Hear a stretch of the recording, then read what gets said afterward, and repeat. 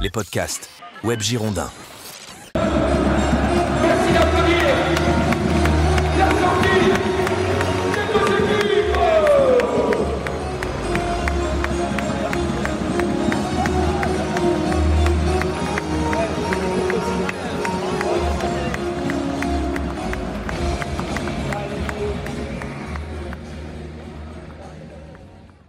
Bonjour à tous, c'est Habib pour Web Girondin. Nous sommes allés à la rencontre des supporters des Mariniers Blancs ce vendredi soir pour le dernier match de la saison face à Pau.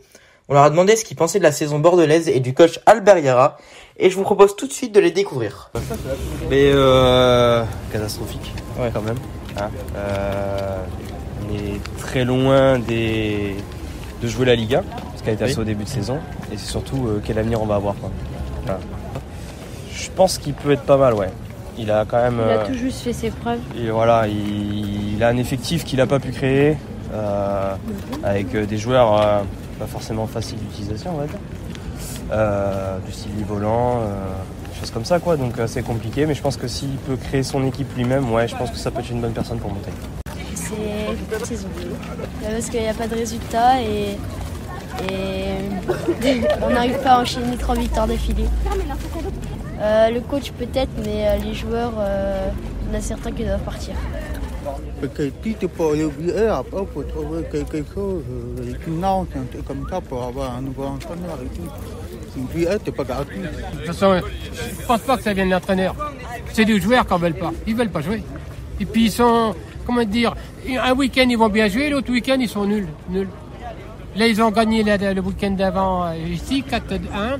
Ils ont été perdre bêtement, mais bêtement, ils étaient nuls, hein, ouais. le week-end dernier. Et ce soir, ce soir, on est inquiet, hein, parce que c'est pauvre. Euh, une saison cataclysmique dans tous les sens du terme, c'est-à-dire euh, une direction absente, des joueurs euh, à l'abandon, un système de jeu qui n'existe pas, un entraîneur qui s'obstine à faire euh, du jeu de possession alors que ben, on s'ennuie.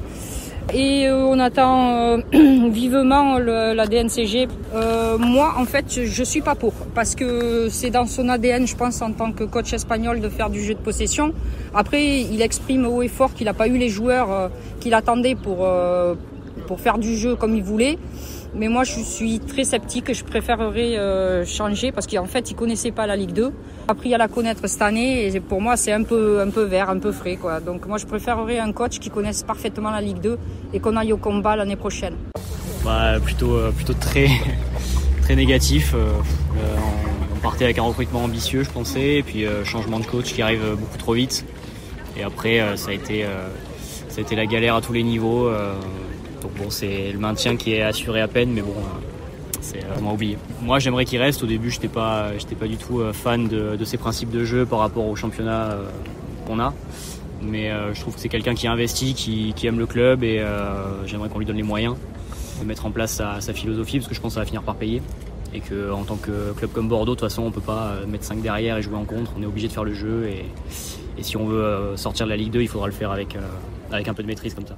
C'est déjà la fin de ce podcast. Merci de nous avoir écoutés sur Web Girondin et à très vite. Ciao Les podcasts Web.